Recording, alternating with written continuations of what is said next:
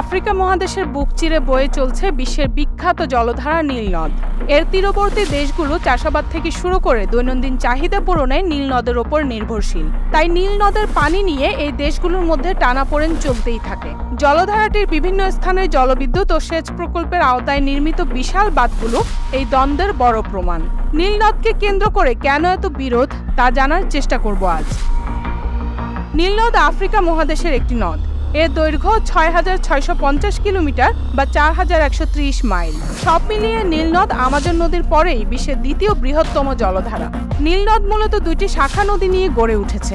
এটি বিশ্বের দীর্ঘতম নদ। এর দুইটি উপনদ রয়েছে, শ্বেতনীল নদ ও নীলাব নীল নদ এর মধ্যে শ্বেতনীল নদ সবচেয়ে বড়। নীলনদ নিয়ে এর তীরবর্তী দেশগুলোর মধ্যে টানাপোড়েনের বড় কারণ এই অঞ্চলের শুষ্ক আবহাওয়া ও পানির স্বল্পতা। নীলনদের তীরবর্তী দেশগুলোর মধ্যে ইথিওপিয়া, তানজিনিয়া ও উগান্ডায় পানির সংকট বাকিদের তুলনায় কম রয়েছে। তবে দেশগুলোর মধ্যে মিশরে পানির সংকট সবচেয়ে বেশি, কারণ দেশটির নব্বই শতাংশ অঞ্চলই মরুভূমি। এই নীল নদ ছাড়া মিশরে আর কোনো প্রধান জলধারা নেই। মিশরীয়দের দৈনন্দিন চাহিদার শতকরা সাতানব্বই ভাগ পানির উৎস এই নীল নদ নদের পানি বন্টনে কে কতটুকু পাবে তা নিয়ে মিশর ও সুদানের মধ্যে একটি চুক্তি হয়। সেই চুক্তি অনুযায়ী প্রতি বছর মিশর পাবে পঞ্চান্ন দশমিক পাঁচ বিলিয়ন ঘনমিটার আর সুদান পাবে পনেরো দশমিক পাঁচ বিলিয়ন ঘনমিটার। আবার নীল নদে প্রবাহিত আশি শতাংশ পানি আসে ইথিওপিয়া থেকে। কিন্তু সেই চুক্তিতে নেই ইথিওপিয়ার নাম। এমনকি নদ তীরবর্তী অন্যান্য দেশের নামও নেই। তাই পানির চাহিদার জন্য দেশগুলোর মধ্যে বাড়ছে বিরোধ।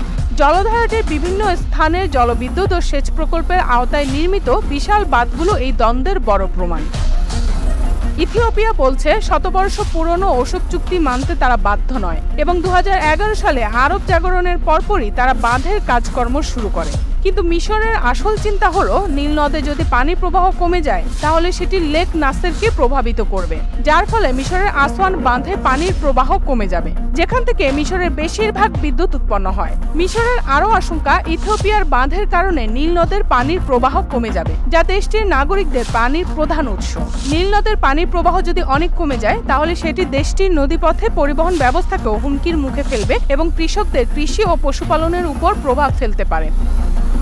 ইথিওপিয়ায় বিদ্যুতের ঘাটতি রয়েছে। দেশটির পঁয়ষট্টি শতাংশ জনগোষ্ঠী এখনও বিদ্যুৎ সুবিধার বাইরে বাস করে। তাই এত বড় বাঁধ তৈরি করতে চায় ইথিওপিয়া। এই বাঁধ থেকে যে বিদ্যুৎ উৎপন্ন হবে, তা দেশটির নাগরিকদের জন্য পর্যাপ্ত হয়ে প্রতিবেশী দেশগুলোকেও রপ্তানি করা যাবে। ইথিওপিয়া ছাড়া প্রতিবেশী সুদান, দক্ষিণ সুদান, কেনিয়া, জিবুতি এবং ইরিত্রিয়া এই বাঁধ থেকে উপকৃত হবে বলে ধারণা করা হচ্ছে। কারণ এসব দেশেও বিদ্যুৎ ঘাটতি রয়েছে।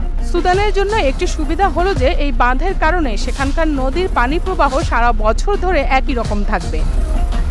আফ্রিকার তিরিশ কোটিরও বেশি মানুষ নীল নদের উপর নির্ভরশীল। ক্রমবর্ধমান জনসংখ্যার সাথে সাথে বাড়তি পানির চাপও পড়ছে নদীর উপর। ফলে নানাভাবে দূষিতও হচ্ছে এই নদ।